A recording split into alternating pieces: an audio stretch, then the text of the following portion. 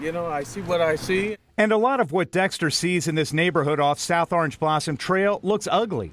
Houses with clutter out front, trash piled up on commercial property near a bus stop, fences either out of code in the way they were built or simply falling apart. There are businesses like this gas station with trash against the walls, apartment complexes not cleaning debris away from dumpsters, and grass, really high grass, on neglected properties. It's sad, technically. Well, I mean, you know, try to help out the people. I mean, um, maybe there's an issue here. You know, maybe they, they need help. The owner of this house is facing thousands of dollars in fines, but tells me his family is struggling with medical bills. Have you explained that you've got medical issues and your Yeah, son's got yeah, medical yeah, issues? I've been to them. We're having this issue tremendously in our neighborhoods.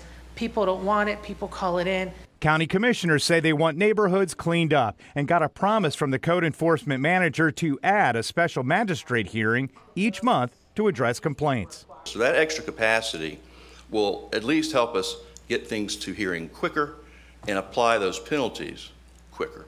Some commissioners say they also want enforcement of the payment of fines. Most often, cases are settled with fines lowered or waived in exchange for cleaning up properties. I think what we're talking about is those habitual offenders, and those are the ones that we need to see how we can tweak our uh, enforcement uh, policies. Blossom Park is one big property that had big problems that were addressed in complaints to code enforcement. And as you can see now, it is fenced off, but also continues to have problems like this. The complaints to code enforcement and how to handle it, perhaps with changes, will be addressed in a workshop in the early part of the year. In Orange County, Greg Fox, WESH 2 News.